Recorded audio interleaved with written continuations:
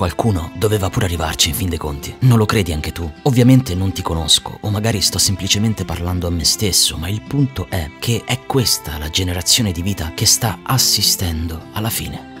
E non pensare subito che sia una cosa triste, o meglio, lo è, soprattutto se sei un tradizionale e nostalgico come il sottoscritto. Ma questo video ho voluto realizzarlo per regalarti un po' della mia consapevolezza. Non voglio fare la parte di chi saggiamente ti dice cosa devi o non devi fare nella tua vita. Semplicemente vorrei condividere con te quanto sto accogliendo nella mia per magari darti qualche input ad agire sempre in maniera intenzionale e mai indotta perché la fine di cui parlo, la scomparsa di quel mondo che alcuni ricordano perché vissuto e che altri hanno soltanto assaporato e poi perso, è causata proprio dall'essere umano che per certi aspetti, quelli più infelici appunto, sta scomparendo.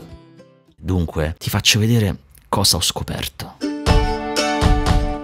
Ho scoperto che è bellissimo dare un bacio al proprio cucciolo ed aspettare che lui ricambi senza alcuna pretesa reciproca.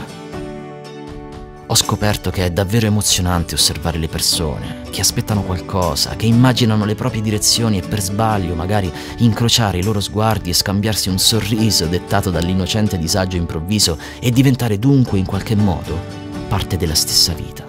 Ho scoperto che la cosa più importante di quando si prende un aereo non è guardare in basso e meravigliarsi di quanto ci sia al di sotto di noi, tutto quel mondo gigantesco, se non sappiamo guardarlo con i nostri occhi, ci sembrerà quello di sempre, ma visto dall'alto. Disabituarsi da tutto ciò che ci è imposto apre i nostri occhi e sapremo guardare ciò che ci circonda ogni giorno in maniera diversa, spesso quella reale.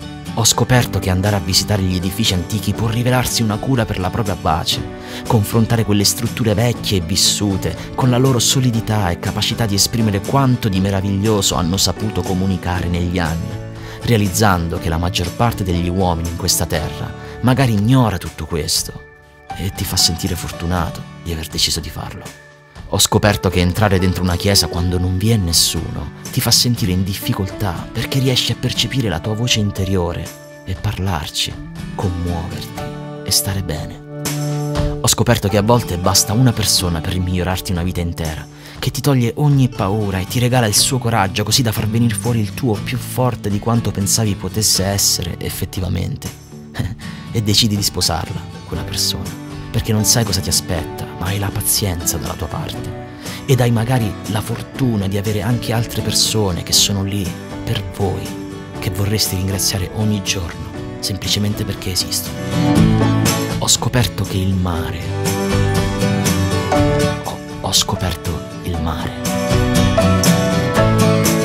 Ho scoperto che non tutti hanno perso la libertà, perché la libertà è anche poter camminare per strada e avere la possibilità di mostrare il proprio sorriso, così da creare seppur per un istante un'alchimia con lo sconosciuto che ti viene incontro e che adesso ti passa accanto senza neanche notare la tua esistenza o che si allontana perché ha paura. Quanti rapporti sono nati da un solo sorriso? Gli stessi che non nascono più adesso.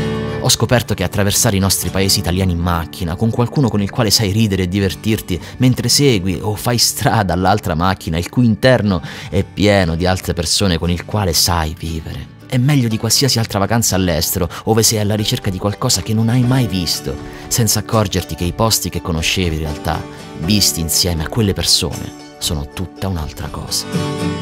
Ho scoperto la fotografia ho scoperto l'istante immortalato e immortale che rimane per sempre. Ho lasciato in tasca il cellulare, il web, i social, l'ambizione, la fame di provare a qualcuno e dargli prova che posseggo una vita condividendo ogni cazzata su quelle piattaforme. Ho preso la mia reflex e ho scattato, tante volte, solo per me, per il mio futuro e per quello di coloro che sono impressi adesso in quelle foto, che immagino pellicola. Ho protetto quei giorni conservandoli e tenendoli lontano dagli occhi invidiosi delle persone che stanno morendo con questo mondo. Ho scoperto che stare tutti insieme a tavola ha un significato molto più profondo e radicato nella nostra natura di quanto ormai nessuno più vuole scoprire.